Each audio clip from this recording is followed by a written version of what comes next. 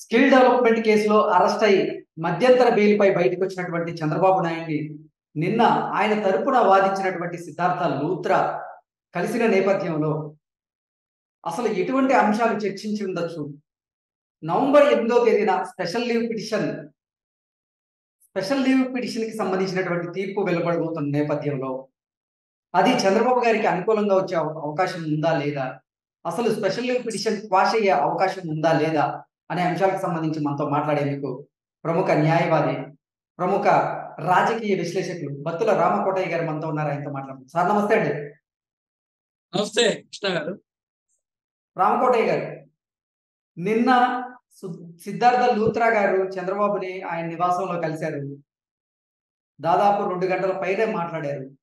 ఏంటి సార్ ఏ ఏ అంశాలు చర్చించి ఉండొచ్చు నవంబర్ ఎనిమిదో తేదీన స్పెషల్ లీవ్ పిటిషన్ సంబంధించినటువంటి తీర్పు రాబోతున్న నేపథ్యంలో వాళ్ళ వ్యూహం ఏమై ఉండొచ్చు? అంటే ఏ ఏ అంశాలు చర్చించుండొచ్చు?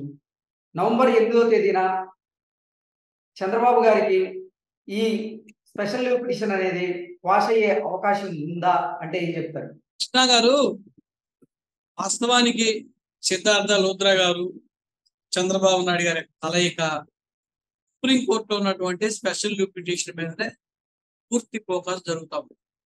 ఎందుకు స్పెషల్ పిటిషన్ మీద వారి మధ్య జరుగుతుందంటే చంద్రబాబు నాయుడు గారి మీద స్కిల్ డెవలప్మెంట్ కేసు మొదలుకొని ఈ రోజు మద్యం కేసు వరకు చూస్తే అన్ని కూడా ఆరు కేసులు మొదలయ్యాయి ఆరు కేసుల్లో కూడా గవర్నర్ గారి దగ్గర నుంచి ముందస్తు పర్మిషన్ లేదు.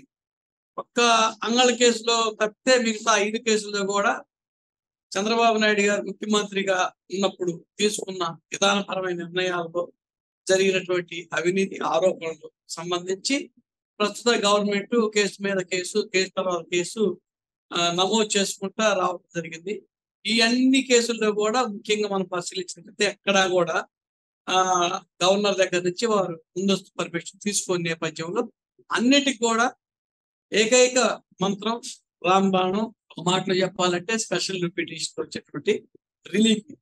ఈ అంతా కూడా ఇప్పుడు ఈ సుప్రీం కోర్టు పరిధిలోనే ఉన్న అంశం కాబట్టి స్పెషల్ పిటిషన్ దాంట్లో ముందు రిలీఫ్ వస్తే చంద్రబాబు నాయుడు గారికి అన్నిటి విషయాల్లో రిలీఫ్ వచ్చినట్టే ఇక భావించాల్సి వస్తుంది కాబట్టి అందుకని వారి మధ్య అంటే ఈ స్పెషల్ పిటిషన్ అనేది క్వాష్ అయితే మాత్రం ఇంకా అన్ని కేసులకు సంబంధించి కూడా అవి అంత ప్రభావం చూపించే అవకాశం లేదు. అవి కూడా కొట్టేసే అవకాశం ఉందని చెప్తున్నారు. స్పెషల్ పిటిషన్లో రిలీఫ్ వస్తే చంద్రబాబు నాయుడు గారికి నైన్టీ పర్సెంట్ రిలీఫ్ వచ్చినట్టే. అన్ని. కేసులు కూడా ఆయన మీద పెట్టిన ఐదు కేసులు కూడా ఖచ్చితంగా రద్దు అవుతాయి కృష్ణ గారు. ఖచ్చితంగా ఎఫ్ఐఆర్ రద్దు అవుతాయి ఎఫ్ఐఆర్ రద్దు అయ్యి మద్యం కేసు ఒకటి తీసుకొచ్చారు తెర మీదకి. అది రద్దయ్యే అవకాశం ఉందంటారా? మద్యం కేసు కూడా ఆయన ముఖ్యమంత్రిగా ఉన్నప్పుడు తీసుకున్న విధానపరమైన నిర్ణయాలే కదా.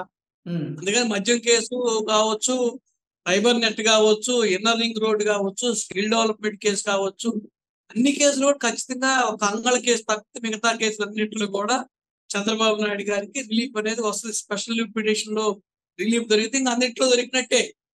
ఓకే. సార్ నవంబర్ ఎనిమిదో తేదీన ఈ స్పెషల్ లీవ్ పిటిషన్కి సంబంధించినటువంటి తీర్పు వెలువడబోతున్న నేపథ్యంలో ఏంటి? అది చంద్రబాబు గారికి అనుకూలంగా వచ్చే అవకాశం ఉందా? ఈ స్పెషల్ లీవ్ పిటిషన్ క్వాష్ అయ్యే అవకాశం ఉందా? చంద్రబాబు గారు ఈ కేసులన్నింటి నుంచి బయటపడే అవకాశం ఉందా అంటే ఏం చెప్తారు? ఎందుకంటే సిద్ధం సిద్ధార్థ లూత్రా గారు చంద్రబాబును కలిసి బయటకు వచ్చిన నేపథ్యంలోనే ఒక చిన్న ట్వీట్ అయితే చేశారు. ఆ ట్వీట్ ఇప్పుడు సర్వత్రా చర్చనీయాంశంగా మారింది. నీలిమేఘాలు నీలి మేఘాలు చంద్రబాబు నాయుడికి ఆ నీలి మేఘాలు ఆ మబ్బులు విడిపోబోతున్నాయంటూ కూడా ఒక ట్వీట్ చేశారు. అది ఏంటి కాలుష్యాన్ని ఉద్దేశించి ట్వీట్ చేశారనుకోవచ్చా? లేదా చంద్రబాబు నాయుడుని ఉద్దేశించే ఆ చంద్రబాబు గారి కేసులను ఉద్దేశించే సిద్ధార్థ లోత్రా గారు ఆ ట్వీట్ చేశారా? అంటే ఏం చెప్తారు?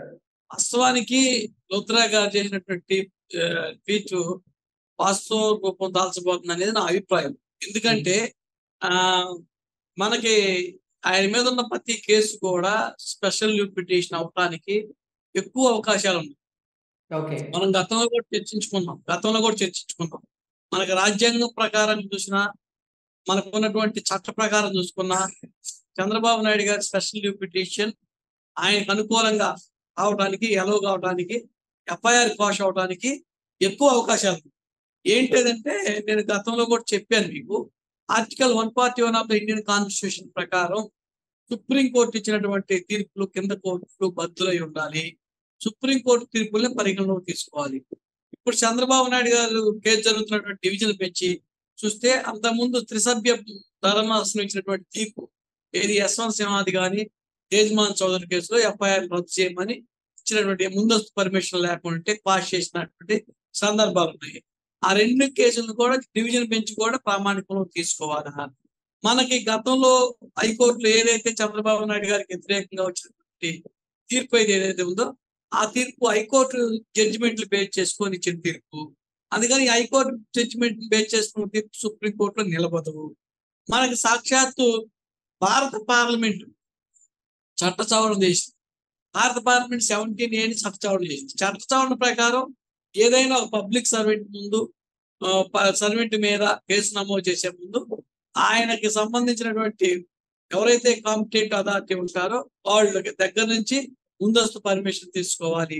తీసుకున్న పక్షంలో ఎఫ్ఐఆర్ అనేది రద్దు కావాలనేది చట్టం కూడా చదువుతుంది చట్టం చూసినా సుప్రీంకోర్టు తీర్పులు చూసినా చంద్రబాబు నాయుడు గారికి రిలీఫ్ రావడానికి సెంటర్ పర్సెంటే అవకాశాలు ఉన్నాయనేది మన లీగల్ అనాలిసిస్ ఇందులో భాగంగానే సిద్ధార్థ లోత్రా గారు చంద్రబాబు నాయుడు గారికి. ప్రత్యక్షంగా చర్చ చేసి ధైర్యం చెప్పుకుంటారు. మనకు పాజిటివ్గా అనుకూలంగా తీర్పు వస్తుందనే భరోసా ఇచ్చి ఉంటారు అనేది నా భావన. ఓకే. కొత్తల రామకోటయ్య గారు ఒకవేళ గనక ఈ స్పెషల్ లీవ్ పిటిషన్ గనక క్వాష్ అవ్వకపోతే తరువాత పరిణామాలు ఎలా ఉంటాయి? తర్వాత వారు ఎటువంటి వ్యూహాలను రచించే అవకాశం ఉంది? చంద్రబాబు గారు కానీ చంద్రబాబు తరఫున వాదించినటువంటి లాయర్లు కానీ ఎటువంటి వ్యూహాలను రచించే అవకాశం ఉంది? అంటే ఏం చెప్తారు? చంద్రబాబు గారు ఉన్నటువంటి చంద్రబాబు గారి ముందు ఉన్నటువంటి ఆప్షన్స్ ఏంటి? ఒకవేళ గనక స్పెషల్ లీవ్ పిటిషన్ని వాష్ చెయ్యకపోతే? స్పెషల్ పిటిషన్ పాస్ కాకపోతే దాని మీద మళ్ళా అప్పీల్కి వెళ్తారు ధర్మాసనం రాజ్యాంగ ధర్మాసనం ముందుకు వెళ్తుంది. ఇది రాజ్యాంగానికి సంబంధించినటువంటి అంశంగా ముఖ్యమంది ఒక్క చంద్రబాబు నాయుడు గారికి అవ్వలేదంటే రేపు అధికారం మారిన వెంటనే కేసీఆర్ కావచ్చు జగన్మోహన్ రెడ్డి కావచ్చు నరేంద్ర మోడీ కావచ్చు అందరూ కూడా చంద్రబాబు నాయుడు గారికి పట్టినటువంటి గదే బట్టి అందరు కూడా శంకరగిరి మాన్యాలకు పోతారు. ఏదో సామెత ఉంటుంది మనకి. తాతకు పెట్టిన బొచ్చ తలాపిన ఉంటుందంట. తాతకి ఎవరైతే బొచ్చి పెడతారో ఆ బొచ్చి తలాపిన ఉంటుందని చంద్రబాబు నాయుడు గారికి ఇప్పుడు వీళ్ళందరూ కూడా రిమైండ్ జరిగి ఉంటే ఇప్పుడు అధికారంలో ఉన్న వాళ్ళకి అందరికి కూడా అదే గది పట్టింది అనేది నా భావన. ఎందుకంటే కృష్ణ గారు ప్రజాస్వామ్యంలో అధికారం అనేది పర్మనెంట్ కాదు. Power is temporary but act is permanent people is permanent ఎప్పుడు కూడా డెమోక్రసీ ఈజ్ పర్మనెంట్ ప్రజాస్వామ్యంలో ప్రజలు తీసుకునే నిర్ణయం అనేది ఐదు సంవత్సరాలు మ్యాండేట్ ఇస్తారు. ఐదు సంవత్సరాల తర్వాత గవర్నమెంట్ అనేవి అటు వచ్చిన ఇటు ఇటు వచ్చిన అటు తారుమారు అవుతా ఉంటాయి. మనం చూస్తా ఉన్నాం. ఈ దేశాన్ని ఏకపక్షంగా పరిపాలించినటువంటి కాంగ్రెస్ పార్టీ రెండు పర్యాయాలు పుట్టగతులు లేకుండా ప్రతిపక్షం కూడా లేకుండా పోయింది. అందుకని కాంగ్రెస్ పార్టీని అసలు ఓడించే శక్తి దేశంలో ఎవరికన్నా ఉందా అని అనుకున్న సమయం. ఎందుకంటే కాంగ్రెస్ పార్టీ నాలుగు వందల టికెట్లు నాలుగు వందల ముప్పై రెండు ఎంపీ సీట్లు లోక్సభలో వచ్చినప్పుడు ఆ బీజేపీకి రెండు సీట్లే ఉండేవి అలాంటి బీజేపీ ఈ రోజు మూడు వందల సీట్లతో గవర్నమెంట్ ఫామ్ చేస్తే ప్రతిపక్షం లేకుండా పోయింది కాంగ్రెస్ పార్టీ. అందుకని మనం చూస్తే ఓళ్ళు బండ్లు అవుతాయి బండ్లు ఓళ్ళు అవుతాయి. ఎందుకంటే ప్రజాస్వామ్యంలో అంతిమంగా ఎవరికి పరిపాలన ఇవ్వాలా ఎవరికి రూలింగ్ వచ్చింది అనేది ఎవరు చెప్పలేరు. అందుకని ఇది శాశ్వతం అనుకుని చంద్రబాబు నాయుడు గారిని జైల్లో పెడదానుకుంటే అందరూ జైలు జైలుకి వెళ్తారు. సెవెంటీన్ ఏ అనేది భస్మాసురుడు అస్తం లాంటిది. ఈ రోజు ప్రతిపక్షాల మీద పెడతానికి అవకాశం ఉంటుంది. రేపు అధికార పక్షానికి కూడా అదే ఆ భస్మాసురుడు అస్తంతో బస్ అయిపోతారు ఓకే అంటే హండ్రెడ్కి హండ్రెడ్ పర్సెంట్ ఈ స్పెషల్ లీవ్ పిటిషన్ అనేది వాష్ అయ్యే అవకాశం ఉంది. ఈ కేసులన్నింటి నుంచి చంద్రబాబు గారు బయటపడే అవకాశం ఉందని మీరు చెప్తున్నారు.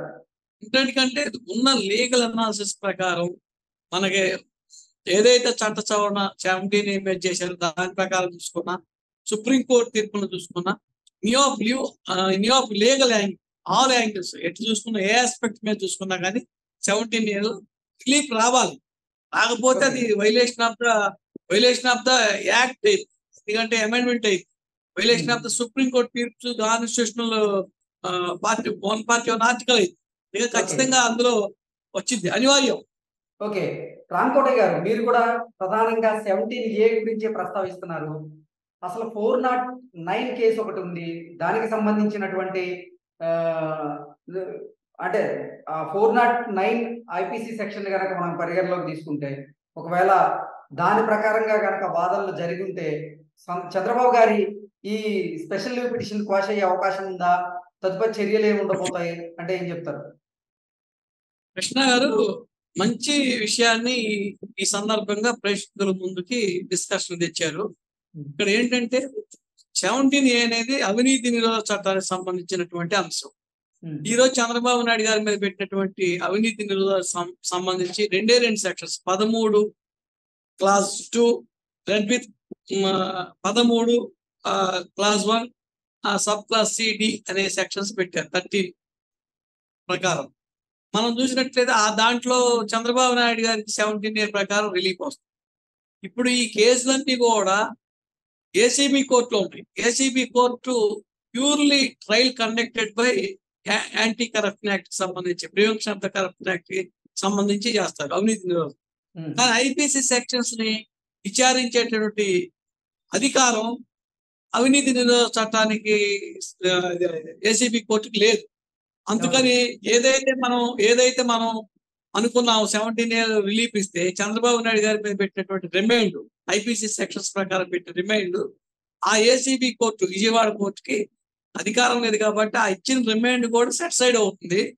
ఇంకా ఐపీసీ సెక్షన్ సంబంధించి దానికి సంబంధించిన కోర్టు ఫార్వర్డ్ చేస్తారా? దాంట్లో ఏ భాషను చెబుతారు? కొత్తగా ఏం చెప్తుంది సుప్రీంకోర్టు అనేది చూడాలి?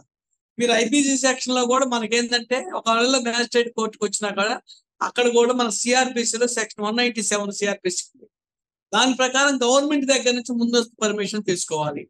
ఆ పర్మిషన్ కూడా రిక్వైర్మెంట్ కానీ దానికి దీనికి తేడా ఏంటంటే సెవెంటీన్ ప్రకారం ఏమో before before starting of the investigation right to investigation ఒక మాట చెప్పండి. Right to registration of the FIR ఎఫ్ఐఆర్ని నమోదు చేసే ముందు ఎంక్వైరీ స్టార్ట్ చేసే ముందు ఇన్వెస్టిగేషన్ స్టార్ట్ చేసే ముందు మనం కాంపిటెంట్ అథారిటీ దగ్గర నుంచి పర్మిషన్ తీసుకోవాలి? మనం ఐపీసీ సెక్షన్ సంబంధించి ఏంటంటే after filing of the charge sheet taking into cognizance to proceed to the prosecution or not లేదని మీద తీసుకోవాలి conducting the prosecution or not లేదు మనం. ఒక విచారణ అంటే సంస్థ తన షార్ట్ షీట్ని ఫైల్ చేసినాక కోర్టు కాగ్నిజెన్స్ తీసుకునే సందర్భంలో విచారణకి యోగ్యత ఉందా లేదనేది కాంపిటెంట్ అథారిటీ గవర్నమెంట్ దగ్గర నుంచి ఐపీసీ సెక్షన్ ప్రకారం పర్మిషన్ తీసుకోవాలి. ఇందులో వచ్చేటప్పటికి ఏంటంటే registration of the FIR starting of the investigation స్టేజ్లో తీసుకోవాలి. దీని మీద సుప్రీం కోర్టు డివిజన్ బెంచ్ ఏం చెబుతుంది? క్లారిటీ ఏమిస్తుంది? అనేది కూడా ఇప్పుడు యావత్ భారతదేశం మొత్తం కూడా ఎదురు చూస్తున్నటువంటి అంశం. దీంట్లో అలాంటి పరిస్థితిని నెలకొని ఉన్నటువంటి పరిస్థితి. ఉంది దీని మీద మనం ఒక్కసారి తీర్పు వస్తే కానీ ఒక అవగాహనకి కాలేమనేది నా భావన. ఓకే. అంటే సెవెంటీన్ ఏ ప్రకారం మాత్రం ఈ స్పెషల్ లీవ్ పిటిషన్ అనేది క్వాష్ అవ్వడానికి ఎక్కువ అవకాశం ఉందంట. అవును. ఓకే. ఓకే రామకోటయ్య గారు థ్యాంక్ యూ సో మచ్.